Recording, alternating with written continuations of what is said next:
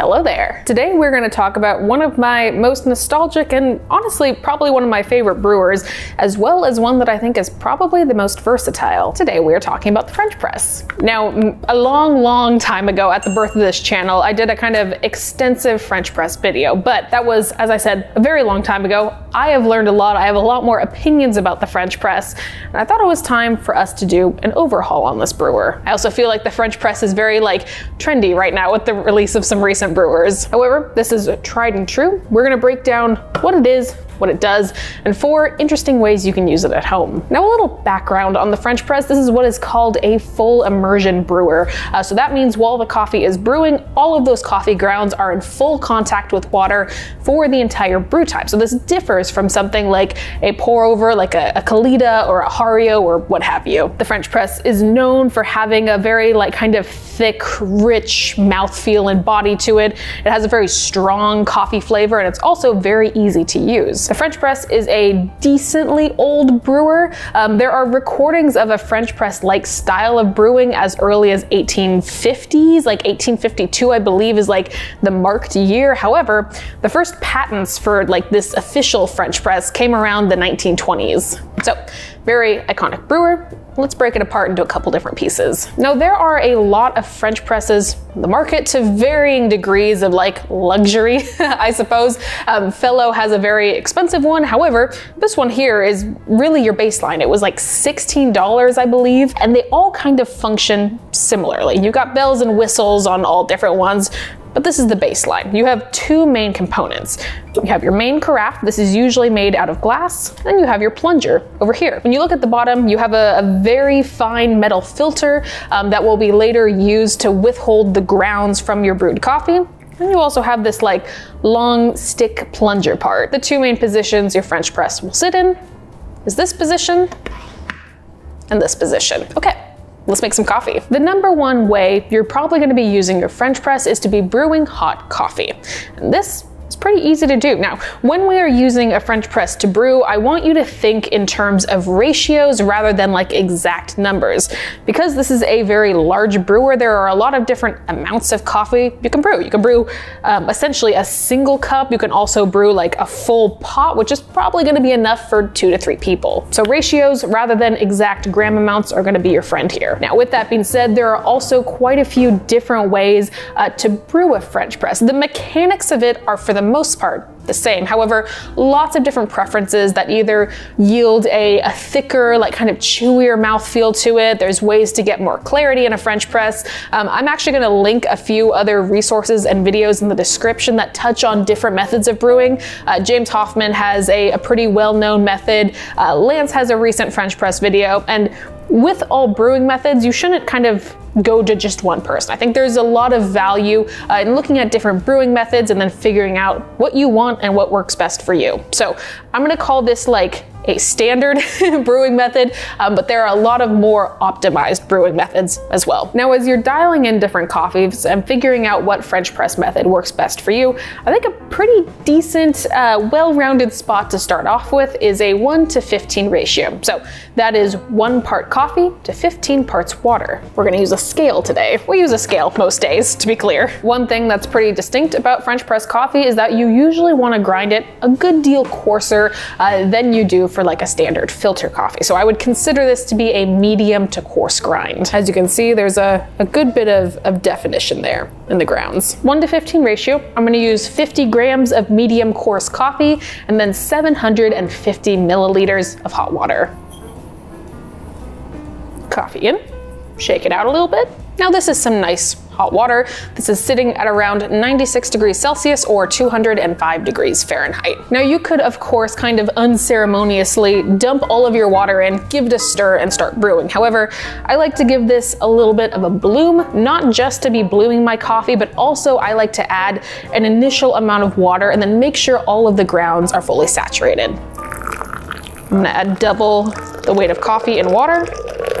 Add about 100 mils here. 100 mils.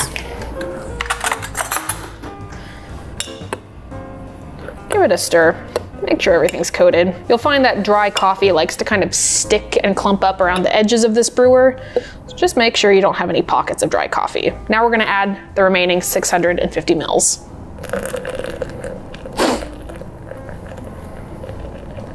This is a very slow process with the Stagg kettle. Ooh, 751. It was very close.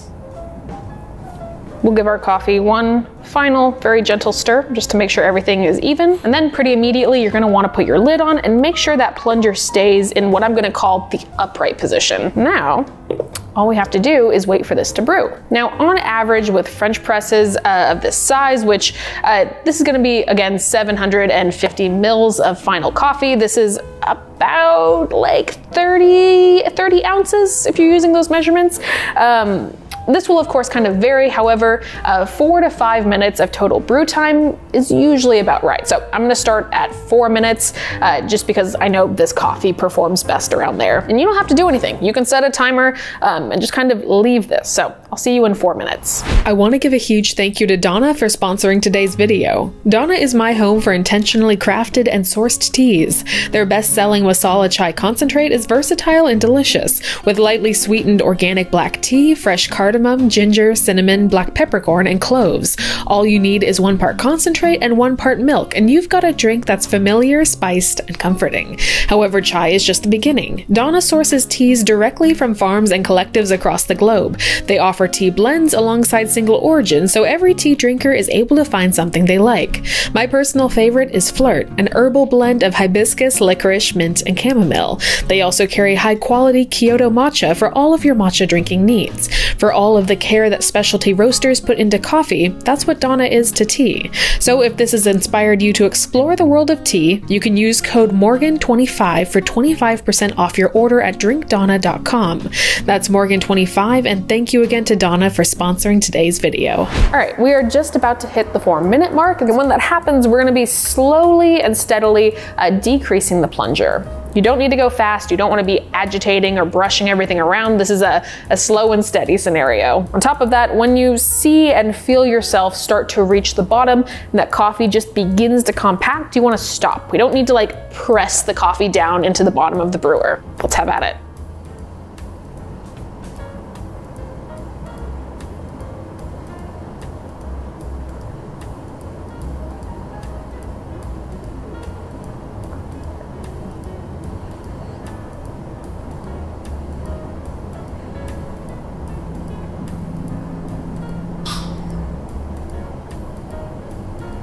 And there we have our brewed coffee. Now, this coffee is still quite toasty right now, but let's have a taste. The world's tiniest cup for the largest brew of coffee. Let's have a taste. Pretty nice cup of French press coffee. Now, as I mentioned before, French press coffee is pretty well known for kind of the, the chew and the tactile of it.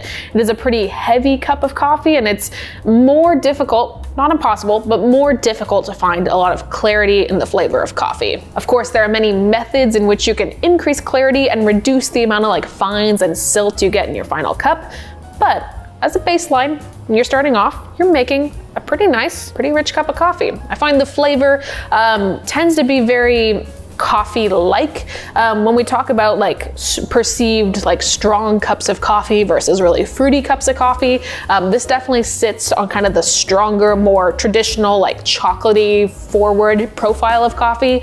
Um, and it performs really well with nice medium and darker roasts. This brewer performs very well with more traditional uh, washed and medium um, and even slightly darker roast profiles. But that's not to say I haven't had some delicious, funky experimental coffees in this brewer as well. But regardless, whatever you put in there, however you brew it, your French press makes some really dang delicious hot coffee. Let's move on to our next tip. All right, we're all reset. The next thing we're gonna do is froth milk in our French press. I made a video, uh, I believe a couple months ago, talking about making really nice milk without an espresso machine and using a hand frother instead. However, if you don't have one of those, but you have a French press, you can do pretty much the same thing. This requires some practice, some technique. Uh, however, I'm gonna show you how to do it and then you can start practicing at home. Now, the first things we're gonna do, because obviously our French press does not heat milk, it will simply add air to milk, is we're gonna heat up our milk. We're also gonna get an espresso shot ready, an espresso shot ready. I can say that. now you can do this with pretty much any milk. I think you will find it easiest with whole milk. So if you are capable of drinking whole milk, uh, give that a go to at least start with. I'm just gonna heat up the amount of milk I need. You can do this on the stove top. However, you can also do it in the microwave.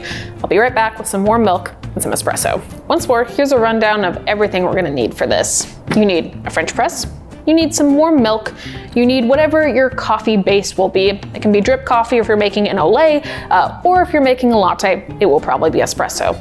I have my cup that my latte will be going into. I also have a milk pitcher. Now, a little bit of a note on the milk pitcher. If you do not have a milk pitcher and you are not really aspiring to pour latte art, you don't need one. You can pour your milk directly out of your French press. However, if you're wanting to froth your milk and then pour latte art with it, uh, there is a lot of benefit to having a pitcher. And additionally, we're gonna be doing some milk polishing at the end to make it even glossier and even smoother. So you can use this, you cannot use this. We're gonna use it today and I'll talk about it when we get there. Now, before we dump the milk in, let's talk about the steps we're gonna be doing. This is um, similar in practice to if you are used to steaming milk onto a machine. We are gonna first introduce air into the milk and then we're gonna work on getting that air as incorporated with the rest of the milk as possible. We're gonna be doing this process through movement of the plunger. One of the things that is tricky about using the plunger to add air into your milk is that it's gonna pull in a lot of air really, really fast. So you don't need to spend a lot of time near the surface of your milk adding air the most of your time is going to be spent a little bit lower, sunk about halfway into the milk, making tiny movements in order to pull that air from the top through everything else. So to quickly review the actions we're going to take, we'll add our milk, we're gonna go down, just touching kind of the surface of the milk. We're gonna make one or two or three just a few light movements to pull in air. You'll see bubbles form at the top. You'll see the milk increase in volume. And then we're gonna go completely under the milk down to about the halfway point and then make small movements. These are small, precise, delicate movements. Not to reach back up to the surface to the milk, but to stay in that in-between section and move all that air around. Let's give it a shot. I'm gonna do this over the sink. No spills, let's go. Okay, to the top of your milk. Plunge lightly, and go down to the bottom, start making these kind of light movements. Now you'll see me keeping a very close eye as you begin to incorporate that air through the rest of your milk. You'll start to see those large bubbles on top kind of disappear. We're looking for them to be as gone as possible. I feel good about that. Let's remove the plunger. Now, if you're pouring directly into your coffee, I'd recommend giving this a swirl, maybe a few bounces like you would a pitcher.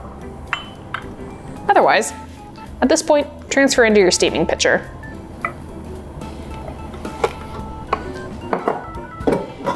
We're gonna swirl, lightly bounce it, just to remove any additional air bubbles, just like you would after if you were using a steaming wand. All right, let's give this a go.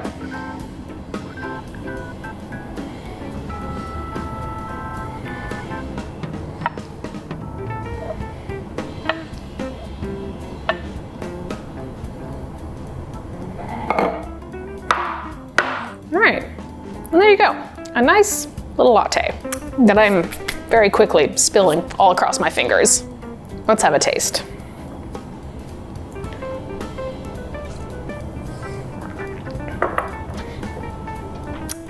Pretty lovely. Now in my experience, this method of using a French press to add air to milk is honestly a little bit trickier than even using a hand frother just because there's a lot less control. You're kind of looking in from the outside trying to get it as smooth as possible. So with that being said, this technique will require a good amount of practice to get somewhere where you can pour latte art, but it's very worthwhile if you are not someone who has extra money to spend on all these additional tools that might make it incrementally easier. However, that is milk with a French press, let's move on to our third thing. The third thing you can do with your French press, and this is a pretty quick one, is you can brew tea with your French press. Because why not? Because your French press has this really lovely filter uh, that works to separate all those fines out from your main brewed coffee, there is no reason that also doesn't work for tea. So if you don't have a teapot, but have some nice loose leaf tea, you can do the same thing this way. Actually very excited about this. I've had a lot of coffee today. and this, uh, this flirt blend is actually one of my favorite uh, recent teas that I've had. This is a, a very nice hibiscus-based tea, so should be some nice color. Simply add your tea.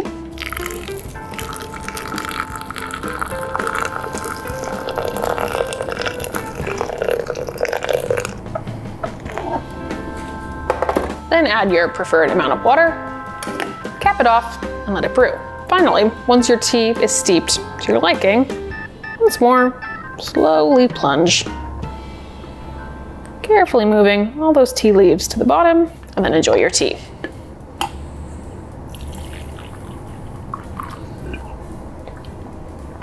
It's very nice, but we have one more French press method to get through. Let's move on to our fourth and final French press tip.